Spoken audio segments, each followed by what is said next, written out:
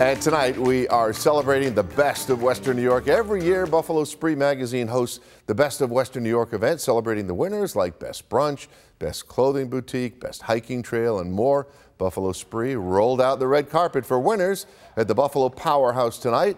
More than 6,000 people voted in this year's poll to compile a list of the best of the best in our region.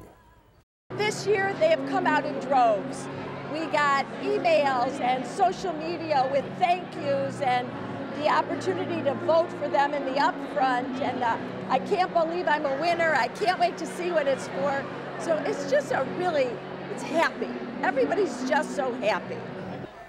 Yep, and we are proud to say that some members of the Channel 2 team were recognized tonight. Our Kevin O'Neill for Best Tweeter, and there she is, Claudine Ewing for Best Broadcast Reporter. We're proud of them both.